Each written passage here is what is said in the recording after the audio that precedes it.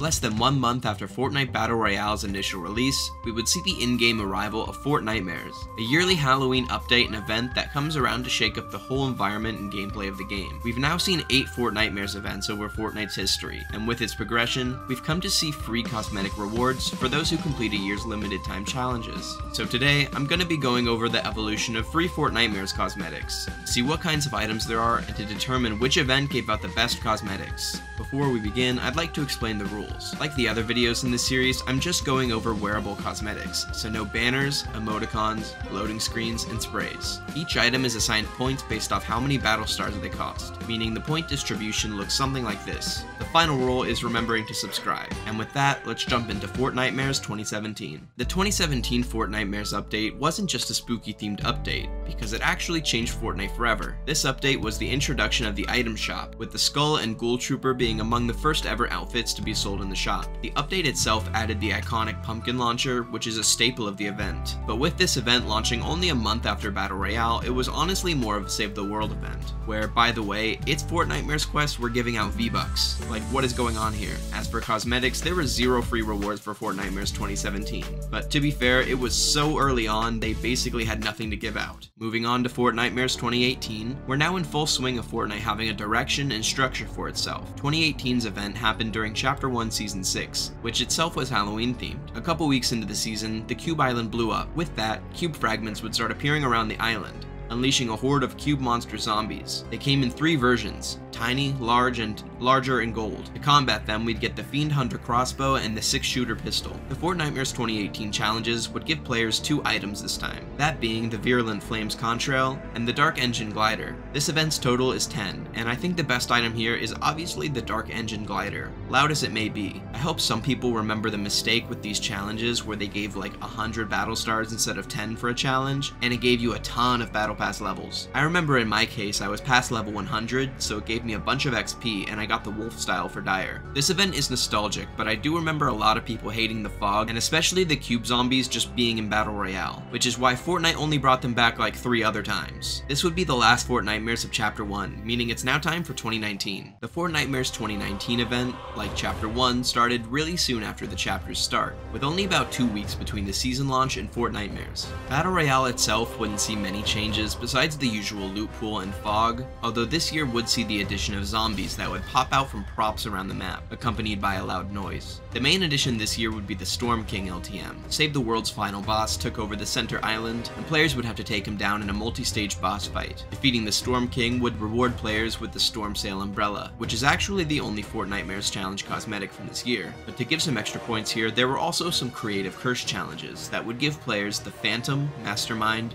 Zombie, Nosh, and Halloween styles for the backboard back bling. Since these were all edit styles, I'm going to count them for half points. This event's total was 16, and I think the best item here is the Storm Sail Glider. I really love the Storm King LTM, and I wish they'd bring it back someday without me having to finish the Save the World campaign. 2020's Fortnitemares is a lot like this year's, in that it randomly interrupted a Marvel season. During this year, Midas, after being eaten by a shark but before being sent to the underworld, came back to haunt the island. But with this came the bizarre and unique gimmick of shadows. After being eliminated, each player would return as a spooky shadow creature. All the shadows would then team up and try and take out the remaining living players until either all the shadows were eliminated or the players were eliminated for a Nightmare Royale. For the loot pool, this event would give us different kinds of candy, each one giving a different effect to the player, and the Witch Broom, which has also become a staple returning item. The Fortnitemares cosmetics for 2020 include the Midas' Shadow Wrap, the Smash-O Lantern Pickaxe, and the Bobo Backbling. For a total of 16, I honestly think the best item here is the Midas' Shadow Wrap.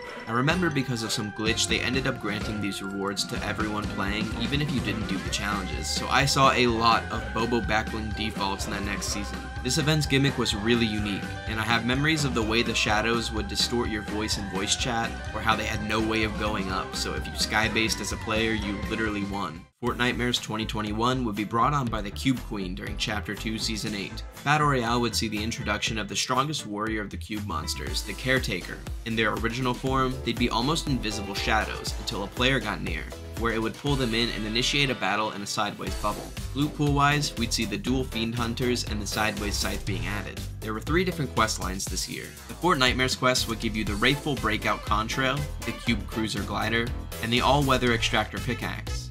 Additionally, there were Ghostbusters quests, which gave the no ghost backbling. Finally, a revamped Horde Rush LTM returned, which before was somehow never actually a Halloween exclusive, bringing the Thinking Juice backbling. This event's total was 27, and I think the best item here is the no ghost backbling, because to my knowledge, it's the only free licensed Fortnitemares cosmetic. I feel like it's an unpopular opinion, but I've always liked the season and by extension this Fortnitemares. I mean, it gave us Resident Evil, which, by the way, needs to come back to the shop. Chapter 3 starts the era of one-year chapters and only one Fortnitemares per chapter. And even though I'm usually the number one Chapter 3 defender, 2022's Fortnitemares was kinda ass. With the way the year before played off the cubes in the story, you'd think they'd do something with the island that's 80% chrome, but instead we got DJ Laika, with a wolf mythic that turned Calamity's skin white and then got vaulted for most of the event. I'm also pretty sure that it got reskinned into Shuri's claws. The Fortnitemares challenges would give players the Chromic Tendrils Contrail, the Unmaker Pickaxe, the Chrome Cage Backbling, the Everything's End Glider, Finally, Horde Rush returned, with its quest giving the only saving grace of this event, the Pickle Rick Backbling. This event's total is 27, and I think the best item here is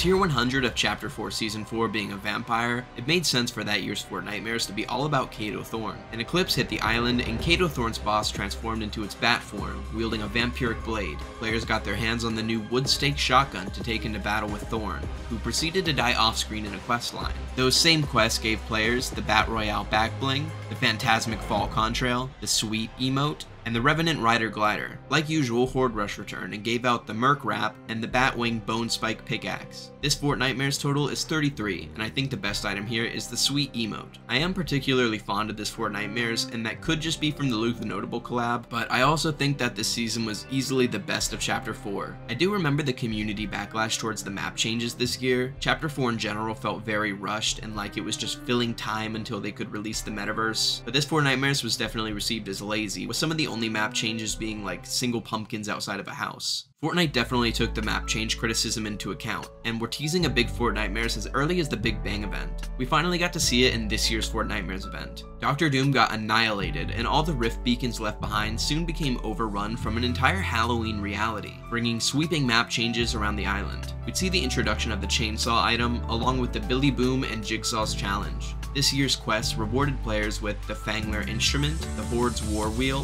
the Jacko Drifter Contrail, the Fiendish Wand Pickaxe, Cauldron Chill emote, and finally the Great Scarecrow glider. Horde Rush did return this year, but its quest only gave XP this time, meaning this event's total is 35. I think the best item here is the Great Scarecrow glider. I already own the original, but I'm always a fan of when Fortnite recolors item shop gliders for free. I think this Fortnitemares is going to go down as a good one in the community's eyes, and I think Fortnite did a really good job this year. With that, we've now gone over the evolution of free Fortnitemares cosmetics. In first place is this year, 2024, with 35 points. Here are the rest of the rankings. In last place is the 2018 event, but if you want to get real, last place is 2017. Which cosmetic from each event was your favorite, and which Fortnitemares was your favorite overall? Make sure to comment down below, I'd love to engage in the discussion. Finally, if you'd like to see more videos like this, make sure to subscribe. This has been Zeywerks, and I wish you all a happy Halloween.